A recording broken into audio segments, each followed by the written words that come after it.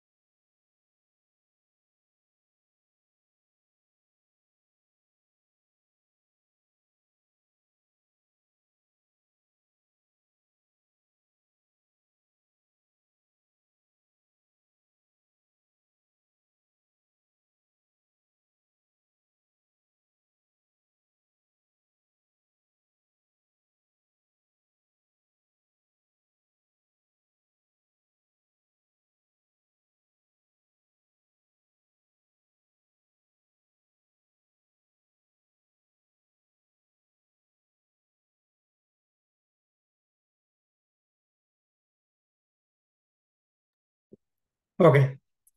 So, so just to know, I just want to explain this uh, based on the spaces between the words, you can split using split method. Then all the words will come into an array. So like this. And you can easily access with array, right? Whichever the element you want based on the indexes. So these are the indexes. First element in the zero index, second element in the first index, third element in the second index, fourth element in the third index, fifth element in the fourth index. So here I did, so array name of the index number I given. So this value will come and store here. Then next iteration, what I'm doing, I'm converting the string into integer format, long format basically. So long in so this long wrapper class dot parse long I'm giving a string. So this count str dot replace all commas with a space with empty string. So that's why string will be converted into long format.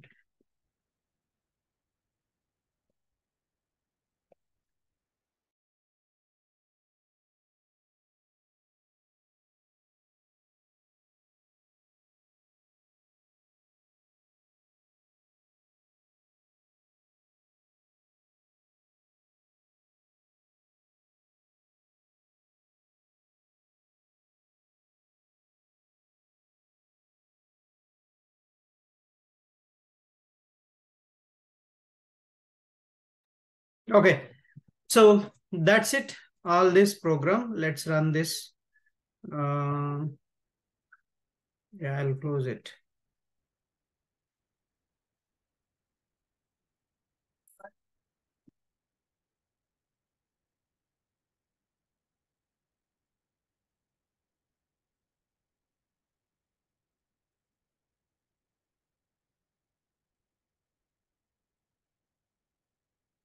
See, here commas were there, we removed, we replaced and you got in the integer format. That's the one uh, so program.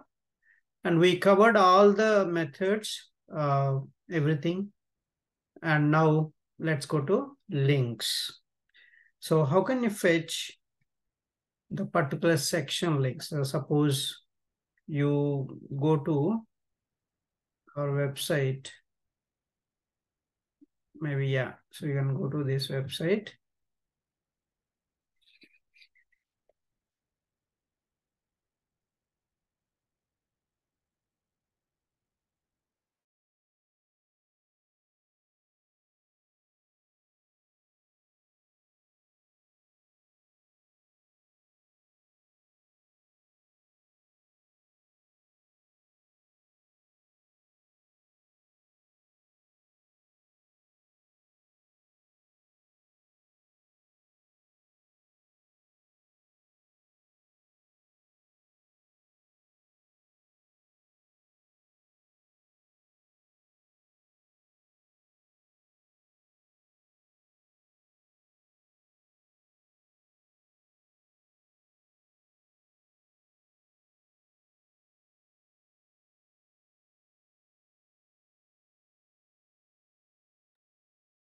Okay, so this is the one.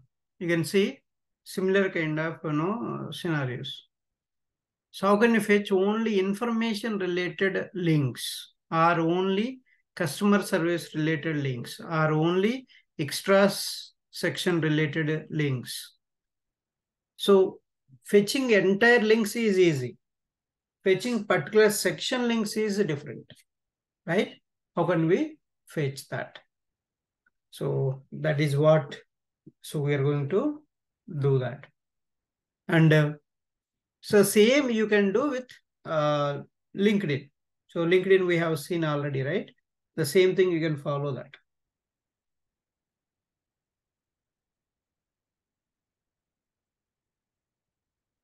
So let me uh, show you first how can you get only information section links. First idea, you need to identify the information section. Okay.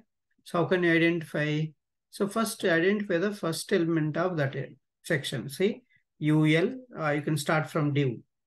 So div, UL, LI, so yeah, LIA. So if you give, so first identify the this section only. Div class, that's enough, I think div ul only. That if you put on ul, the intersection is identifying. Div ul you can give. That's a information section. It is a from that section you can get all the links. You can get all the links. How can you get? So write a program. So to fetch particular section links. Okay. I'll take this.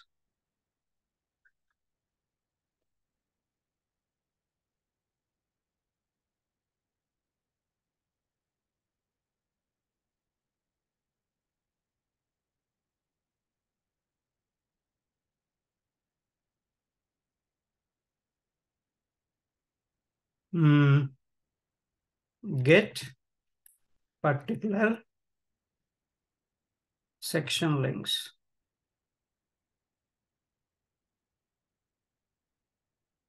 Okay.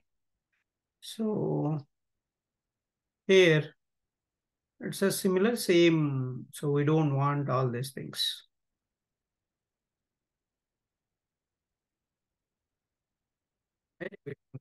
These things. So why I kept this? This is the identifying the so information section.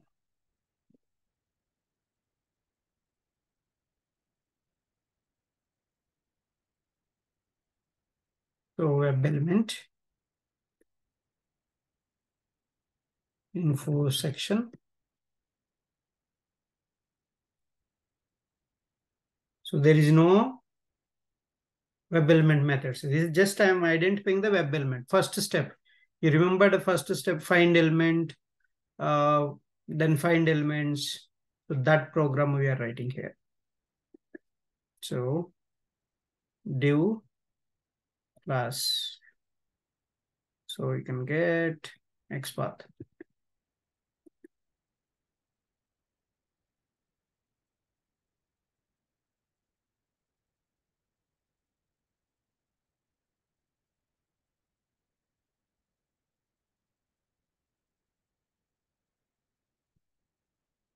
You can go.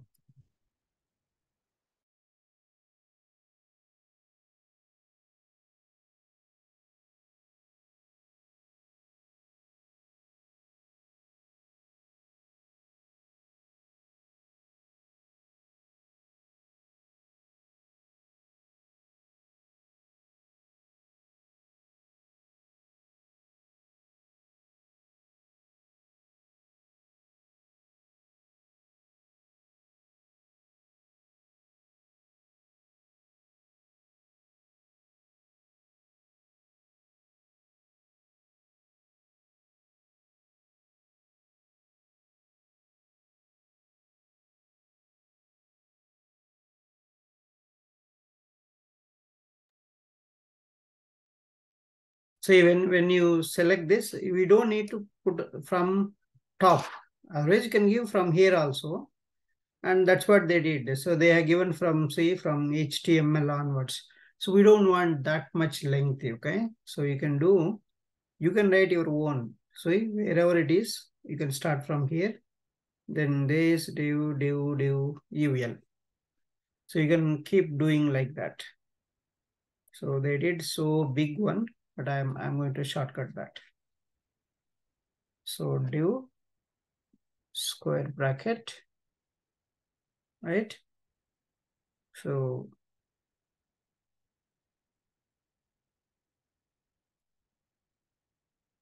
do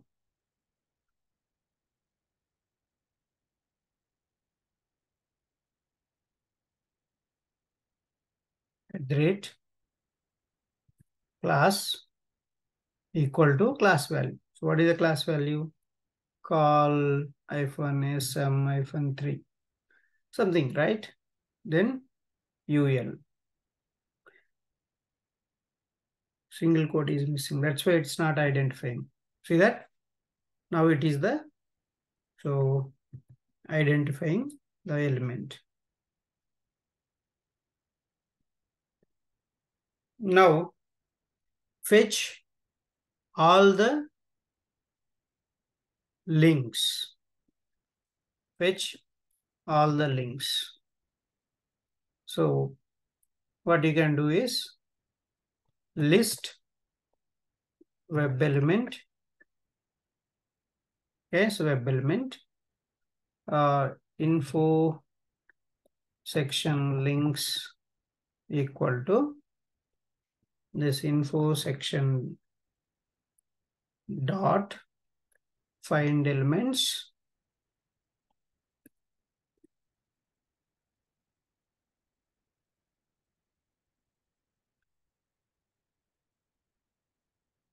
So by dot tag name a. So in this info section what are all the a tags are there? All of them i'm fetching. Ah, and storing so then you can even you can play around with this. You can click and then you can go back. So then you can click on this second one. You can go back. So you can uh, know iterate all of them. Iterate all of them just one by one. You can iterate. So you can you can see that. Uh, you can write an XPath also for this, and you can do that. So I'll write XPath for this. Uh, suppose UL of A, right? I'll write XPath for this. Understand this XPath. Uh, so how I'm going to parameterize this XPath? Understand. Right? So we'll write uh, this one.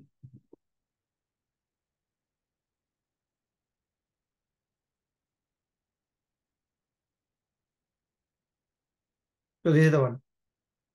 Next one, if you give a LA of 2,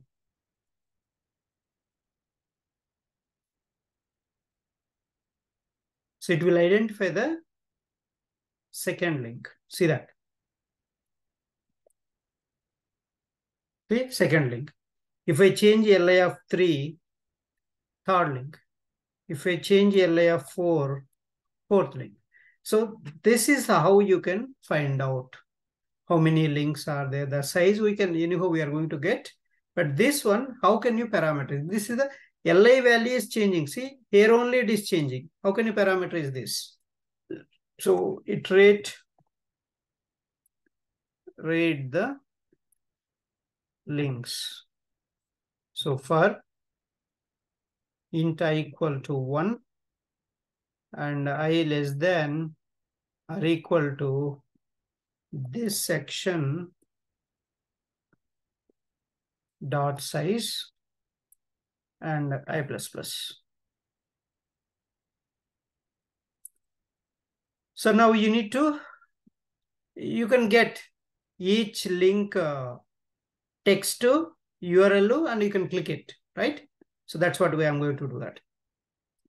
Fetch each link text string txt equal to driver dot find element.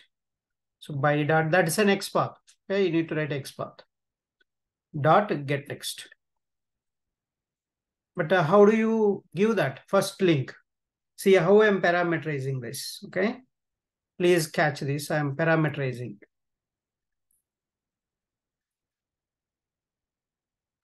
Parameterizing the XPath.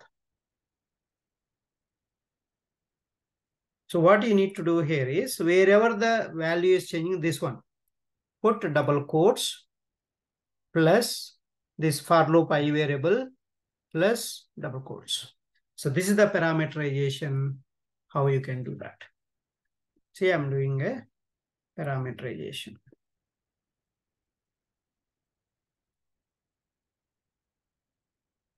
See, whenever i value 1 comes, first link.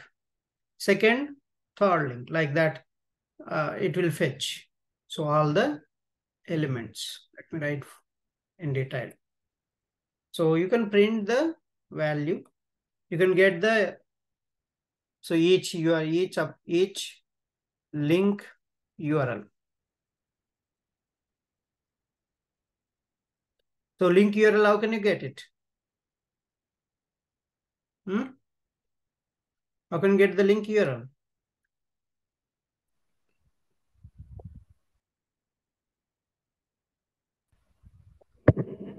title? Hmm, no. Title is tooltip. href. Okay. href. href will give you the URL. So print. Link name is. You can print the txt. And uh, then link URL is.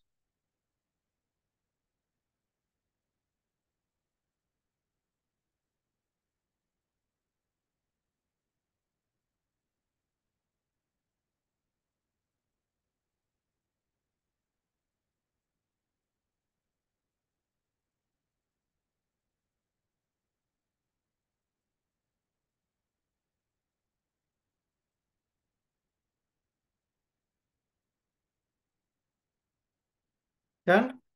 Each link. So you're basically you're validating, okay? You're validating the each link. Dot click. So it will take some time and I'll just give some thread dot sleep. Ah, two seconds. And you need to navigate back. Back to previous page to check the next link. Right? So driver dot navigate dot back. Okay, that's it. See that? This is the logic you need to build it. See, we got the text of each link, same link URL, same link you're clicking, and it will go to next page, right? And you come back, again, next link will start loop. So let's see, run this program.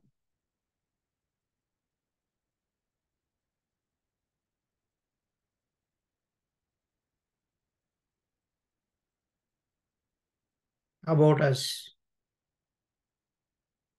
So delivery information, privacy policy. terms and conditions.